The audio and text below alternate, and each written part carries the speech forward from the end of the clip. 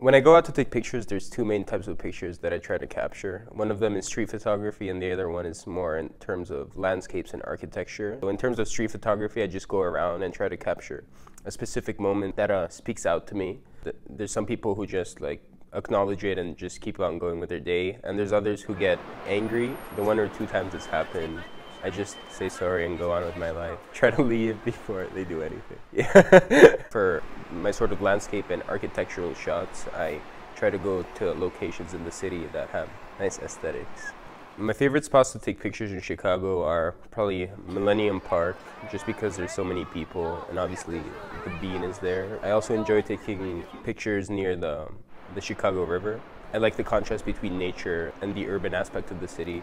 My thought process when I find a good opportunity to take a picture is to think of the best perspective to get that picture from.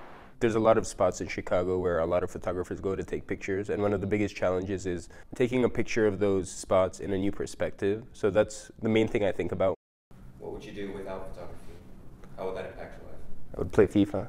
I'm kidding. I'm kidding. Um, without photography, I think my life would be a lot different because ever since I started photography, it changed like my perspective on the world around me and even like daily interaction on the street. I see them more of as from what perspective can I capture these instead of just viewing them